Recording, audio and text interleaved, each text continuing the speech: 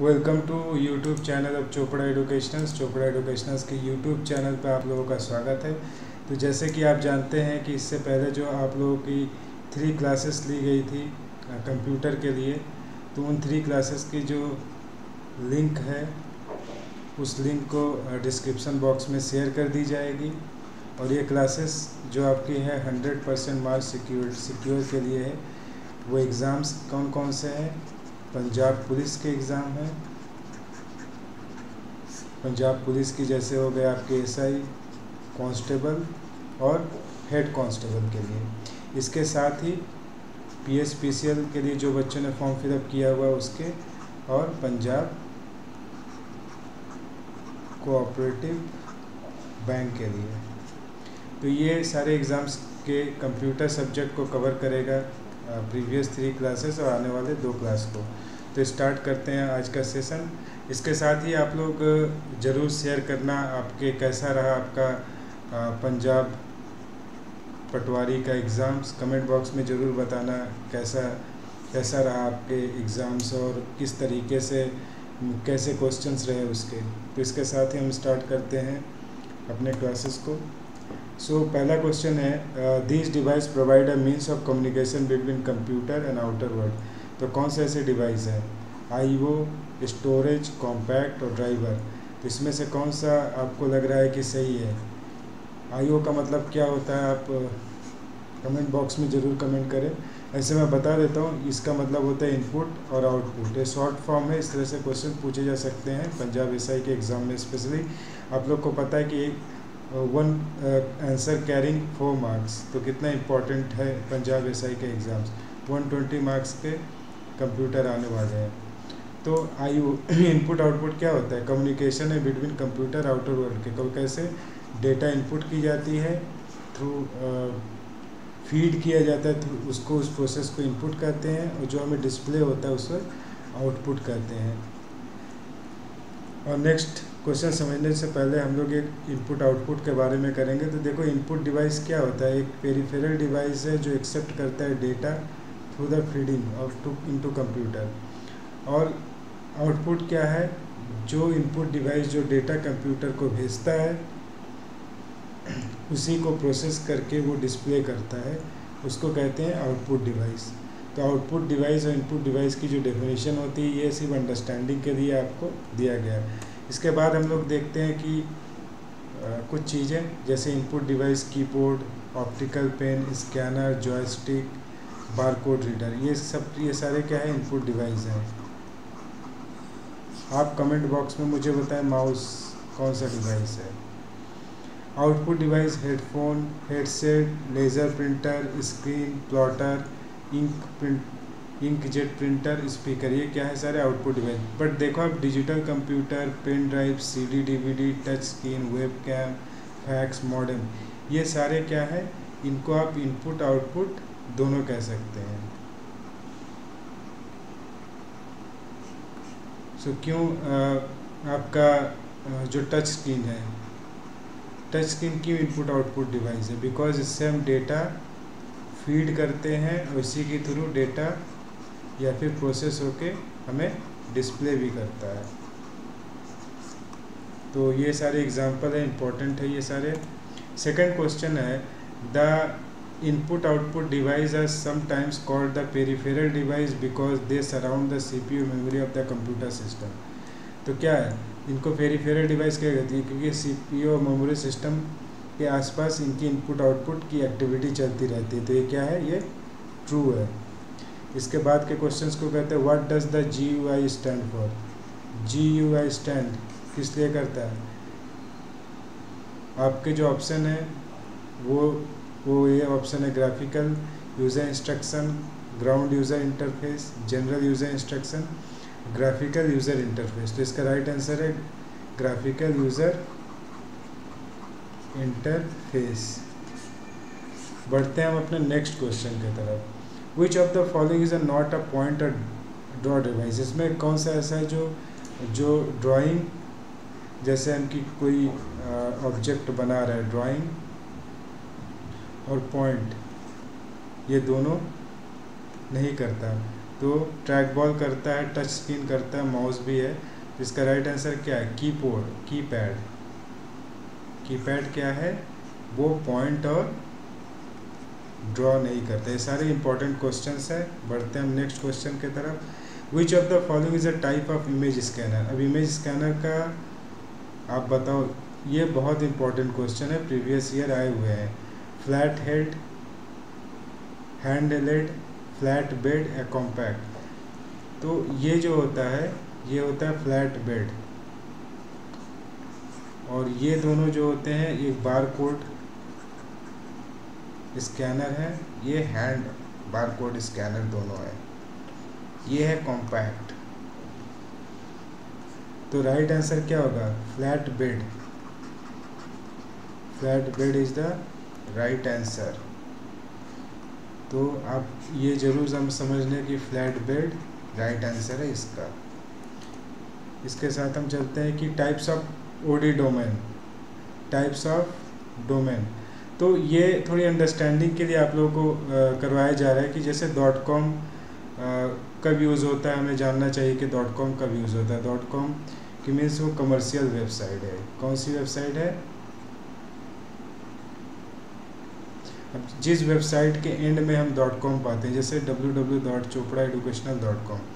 तो इसके भी कुछ रूल्स होते हैं कि क्यों डॉट कॉम लगाना पड़ता है तो इससे हम इस पर जैसे कोई बच्चा कोर्स परचेज भी कर सकता है, ठीक है? तो वो ये सारी activity through information each and everything तो उसको कमर्शियल वेबसाइट कहते हैं। अगर डॉट एडू है तो वो एडुकेशन रिलेटेड ही वेबसाइट है। मिल है डॉट तो मिलिट्री है, मिलिट्री वेबसाइट है। डॉट नेट अगर होता है तो वो इंटरनेट इंफ्रास्ट्रक्चर है। ओ है तो ऑर्गेनाइजेशनल वेबसाइट है। इसी तरीके से अगर डॉट गॉव है तो क्या है? गवर्नमेंट की कोई वेबसाइट है। और इन्फो अगर है तो क्या है? इंफॉर्मेटिव वेबसाइट है। ये हमने प्रीवियस क्लासेस में इसको किया था बट आज तो डिटेल्स में हमने कर दिया तो इससे आगे बाहर के कुछ नहीं पूछ सकता आपके डोमेन के फ़ील्ड में। वी क्या है तो इसको भी हम डिटेल्स में एक बार समझ लेते हैं वी क्या है। VIP voice over internet protocol जो हमारे वॉइस कॉल होते हैं थ्रू द इंटरनेट उसको क्या कहते हैं? वी ओ आई पी इसके एग्ज़ाम्पल जैसे क्या है? व्हाट्सएप कॉल मैसेंजर कॉल इसी तरीके से और जो है आप कमेंट बॉक्स में बताओ but V O pie V O I P की जो फुल फॉर्म होती है वह वॉइस ओवर इंटरनेट प्रोटोकॉल इसके बाद के जो इम्पोर्टेंट पॉइंट्स हैं, ये आप लोग एक बार ज़रूर देख लेना। Wikipedia YouTube Bing and Google Google के बारे में हम लोग करवाए हुए थे। यूट्यूब के बारे में भी हमने करवाए हुए हैं विकीपीडिया और बिंग के बारे में आप लोग एक बार गो थ्रू कर जाना और नेक्स्ट क्लासेस में इसके हम डिटेलिंग करेंगे। Which term is not related with font font क्या होता है? फॉन्ट से क्या रिलेटेड नहीं है? Font size font colour font face या फॉन्ट ग्रामर तो इसे रिलेट नहीं करता क्या? फॉन्ट ग्रामर क्योंकि फॉन्ट के फेस होते हैं। जैसे अगर ये है तो ये बोल्ड है। ये है तो ये नॉर्मल है और इसी को अगर हम इस तरीके से करते हैं तो इटैलिक है। साइज़ इसके बड़े छोटे हो सकते हैं कलर भी चेंज हो सकते हैं तो font grammar is a right answer valid format of M S Word M S Word की वैलिड फॉर्मेट क्या है? Dot J P G dot P N G dot D O C dot X तो इसका right answer हमने करवाया हुआ है dot D O C J P G के क्या है? आप कमेंट बॉक्स में ज़रूर बताएँ। पी एन जी के बारे में। इन दोनों को डिटेल्स की डिटेलिंग की गई थी आपके प्रीवियस क्लासेस में। तो वहाँ आप ज़रूर उस लिंक को एक बार करें। अगर आपको 100 परसेंट मास सिक्योरिटी चाहिए तो। Which of the following question use to change page size and margin page size और मार्जिन क्या किस तरीके से कौन से आप through the page layout change करोगे? व्यू से टूल से डेटा से। पेज के साइज़ को, पेज के मार्जिन को। तो इसके राइट आंसर क्या है? Page layout. व्यू से हम देखते हैं। टूल्स और सारी है। डेटा से डेटा को अलग, पेज लेआउट से मार्जिन की सेटअप, मार्जिन और साइज़ की सेटअप कर सकते हैं। एम एस ऑफ़िस में। इसके बाद का जो क्वेश्चन है, माइक्रोसॉफ्ट ऑफ़िस क्या है? Shareware public domain software open source software and application suite और फॉर्मवेयर इसका राइट right आंसर क्या है? एन एप्लीकेशन शूट आप shareware public domain software open source software जो फ्री होते हैं, बहुत सारे हैं। फार्मवेयर क्या होता है? ये शेयरवेयर क्या है? ये सारे आप एक बार गो थ्रू कर जाओ, जो नेक्स्ट क्लास होंगे। उसमें हम डिटेल्स में एक बार शेयरवेयर के बारे में फार्मवेयर के बारे में करेंगे। Select all text in M S Word M S Word में अगर सारे वर्ड को सिलेक्ट करना है तो आप क्या दबाओगे? C T R L plus A control A से इसकी आपकी राइट आंसर क्या है? Control A will be option to change file name when you uh, when you're in uh, you are in तो आप अगर एम एस वर्ड में है तो फ़ाइल नेम को कैसे चेंज करोगे? क्या से ऑप्शन है सेव सेव एज रीनेम या डिलीट इसका राइट आंसर क्या होगा? सेव एज से करेंगे। सेव से फ़ाइल सेव होती है रीनेम हम फोल्डर में जाके कर सकते हैं।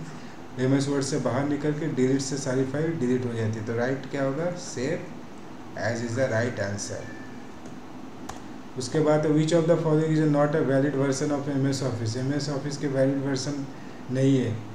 Office 2007 Office 2010 and Office XP ये तीनों है। ऑफ़िस विस्ता नहीं है तो right answer is Office Vista